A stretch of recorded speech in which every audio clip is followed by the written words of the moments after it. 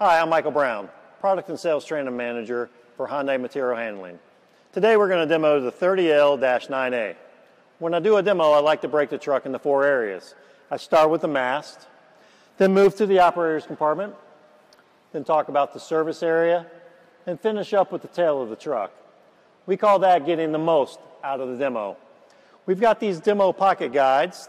We can have them printed out, but at the end of this, we're also going to give you a link to where you can get a PDF, download to your tablet so that you can do the demo right off of your tablet, or even download it to your iPhone and put it in iBooks, and you have the walk around pocket guide right at your disposal. Okay, we're going to start out with the mast. One of the first things you're going to notice on the Hyundai is our mast channels. Larger, thicker, and the biggest thing you're going to notice is minimal weldments on the side. As compared to the competitors who use extra weldments up here as mast stiffeners. The next thing you're going to notice is our canted load rollers. Our load rollers are canted three degrees, which accepts the side-to-side -side motion when you're at the top side shifting, unlike some of the competitors that just use straight load rollers. The next thing that keeps this mast in precise alignment throughout the life of the truck is our cross members. Notice at the top we've got cut steel, and in the middle we've got the bent steel. Again, comparing to competitors who put weld joints at the susceptible areas, that's probably not the best idea. The next thing that we want to hit that's quantifiably different than the competitors is our six carriage roller is standard. Others have four carriage rollers as standard. So you want to make sure that when we're comparing apples to apples, that you make them put in the option to go six. The next thing we want to talk about is our hydraulic fittings. On our hydraulic fittings, we use flat face O-ring seals. Flat here, flat here with an O-ring. The nice thing about this is you can't over tighten it. So you tighten it and we're good. Competitors tend to use JIC flared fittings. It's metal on metal. Most folks think the best way to keep this thing from leaking is to tighten. And what happens is they over tighten, which actually strips the threads and creates the leak. So what we're doing here is we're really minimizing human error when we're doing our servicing. The other thing that's quantifiably different on the front end of our truck is our standard wet disc brakes. This is our disc plate. There's four of them on each side, and this is going to save the customer money and cost of ownership. A typical brake job on a competitive disc brake system is going to be over $2,000. With proper maintenance, this should last the life of the truck. You'll notice that we use canted three degree rollers. What that does is it accepts the side to side movement when you have your forks raised and your side shifting. One of our other competitors uses straight load rollers, which does not accept the side to side movement, which will create more expensive cost of ownership throughout the life of the truck. Moving to the operator's compartment. First thing you're going to notice is a three point entry, lowest step height in the industry, three points, making getting on and off the truck very safe first thing the operator is going to notice as soon as they get on the truck is our standard full suspension seat. That's an upgrade for most of our other competitors. The other thing they're going to notice is the biggest floor area in the industry. So the lowest step height, largest floor area, and standard full suspension seat. It's going to keep that operator working hard all day long because he's more ergonomic than the others. Next thing they're going to notice is the tilt steer wheel which is very nice, and seat side hydraulics. So these seat side hydraulics are not only ergonomic for the operator, but when we pop the hood, you'll notice that it's very easy for the technicians to get to as well. A couple standard features in the operator's compartment that's going to be, again, different than the competitors is our standard LED lights, standard panoramic mirror.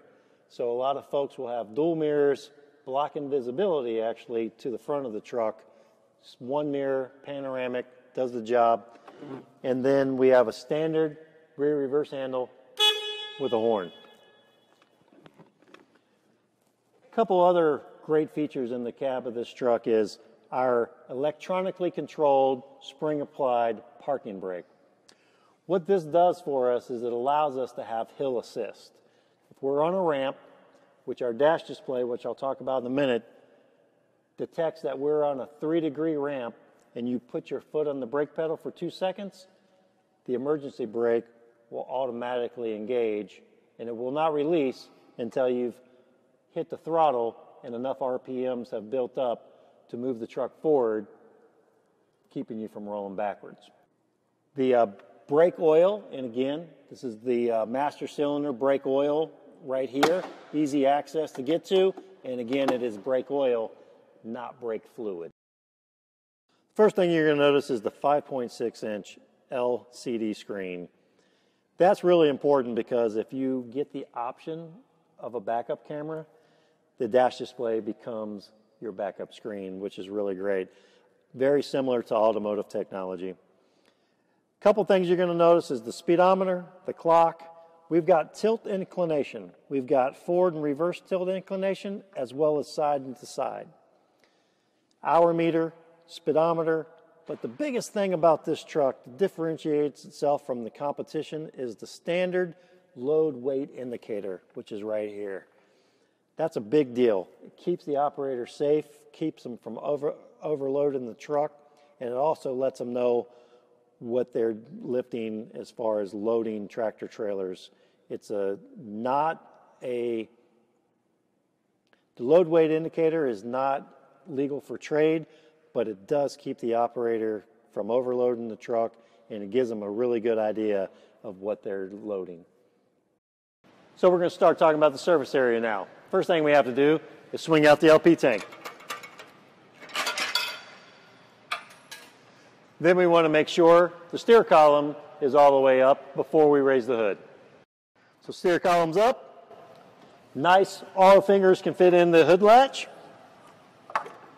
You'll notice a couple times, a couple of our competitors, just two fingers, and if you're wearing gloves, really difficult to raise the hood. The other thing I want you to notice right away is the safety latch. Again, as the trucks get older, technician gets down in there, hood falls on top of them. That won't happen with our truck. Really easy to get to the daily checks. You've got your air filter, you've got your oil, you also have your battery disconnect with the key. So to be able to gain cowl to counterweight access, you just remove the floor mat So our floor plates, no tools, two pieces. Take that out. Pull the other one, you disconnect your throttle pedal. And I've got cowl to counterweight access. Dipstick for your transmission, all of the daily checks, very easy access. As I mentioned earlier, having seat side hydraulics makes it much easier for the technicians as well.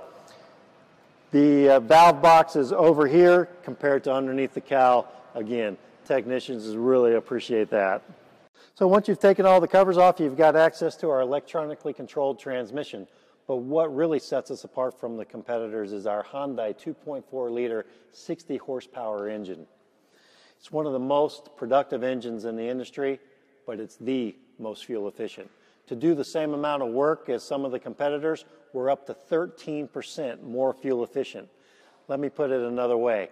A fuel tank costs about $30. You get a shift out of that. 250 working days a year, that's $975 worth of fuel savings per truck per shift. A guy with multiple fleet, that adds up really quick. So moving to the tail of the truck, I'll close the hood and I'll swing the LP tank back around.